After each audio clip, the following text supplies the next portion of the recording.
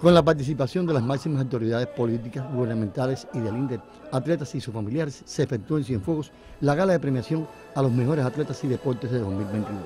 El reconocimiento a teatro lleno a los deportistas, entrenadores, árbitros, profesores y personal de apoyo que en un año de tantas limitaciones pusieron en alto el movimiento deportivo antillano en eventos nacionales y la arena internacional, motiva a los agasajados y los compromete a seguir aportando lo mejor en 2023. Esto significa mucho para mí, me, da la energía para seguir dando lo mejor de mí, saliendo adelante en todas las competencias. Y ahora que estoy acá en el mismo Cienfuegos, no es que me sienta más cienfueguero, sino que estoy más cerca de, lo que es la capital provincial. Y nada, eh, ha sido un, honor este, eh, estar entre los mejores atletas de la provincia por segundo año consecutivo.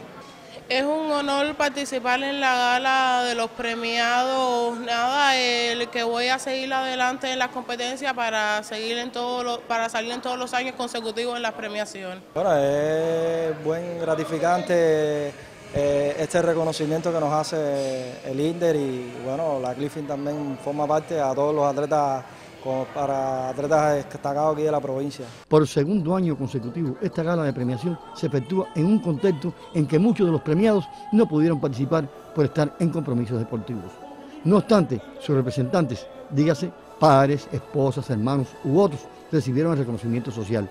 Y en el territorio se trabaja para que en la gala de premiación del 2023 se realice el fin de año, pues la jornada que inicia debe estar llena de actuaciones relevantes de cienfuegueros en juegos multideportivos.